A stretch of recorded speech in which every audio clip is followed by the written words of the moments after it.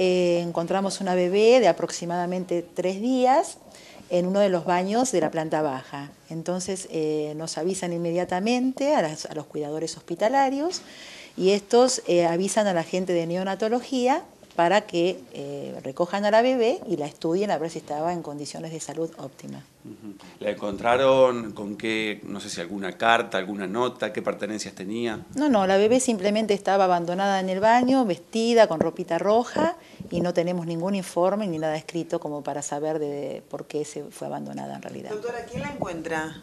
La encuentra personal del hospital y ahí se avisa a los cuidadores hospitalarios, que son los que justamente están haciendo tareas de seguridad y cuidados hospitalarios, y allí avisan a los pediatras y neonatólogos del hospital. ¿Y en qué condiciones eh, físicas estaba la bebé? No, la bebé está en condiciones de salud aceptable, un peso normal, pesa 2 kilos 880, eh, consideramos que tiene tres días, no tenía golpes, estaba alimentada, eh, lo único que en el examen clínico y analítico se encuentra que tiene un poquitito la piel amarilla, como ocurre en los bebés cuando nacen, pero eso es simplemente observación y probablemente eh, rápidamente eso ceda.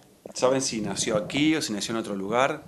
Eh, intentamos eh, averiguar si nació nuestro hospital porque hace tres días ocurrieron cinco nacimientos, de los cuales tres eran varones, dos mujeres, entonces buscamos la historia clínica y ya fuimos a uno de los domicilios donde se descarta que haya sido la bebé en cuestión, nos falta ir al otro, pero consideramos que por el peso de la bebé no correspondería al nacimiento que ocurrió en este hospital. ¿Había antecedentes de algún hecho similar en el hospital? Sí, sí ocurren. Normalmente por año en la provincia eh, entre 5 a 10 casos de bebés eh, se abandonan en los hospitales.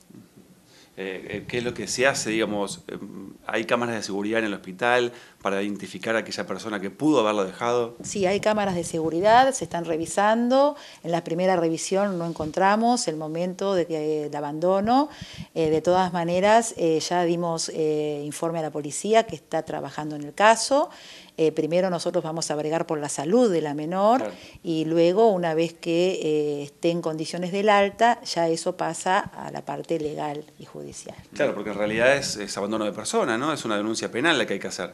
Exactamente, nosotros deseamos encontrar a los padres como para que la bebé pueda volver a su domicilio y acompañar a la familia que seguramente en casos de desesperación abandonó a su hija.